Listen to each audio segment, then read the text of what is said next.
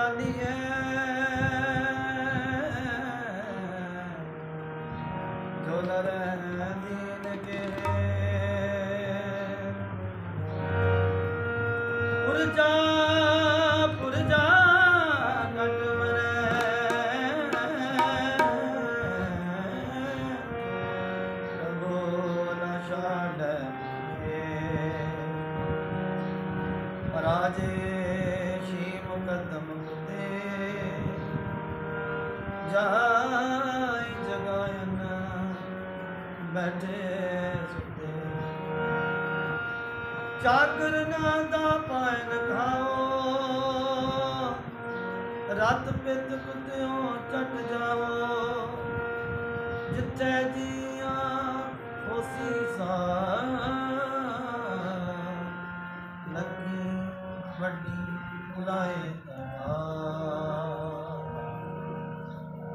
ਰਾਜੇ ਪਾਪ ਕਮਾਵੰਦੇ ਹੋਦੀ ਵਾਰ ਚੇਤ ਕੋ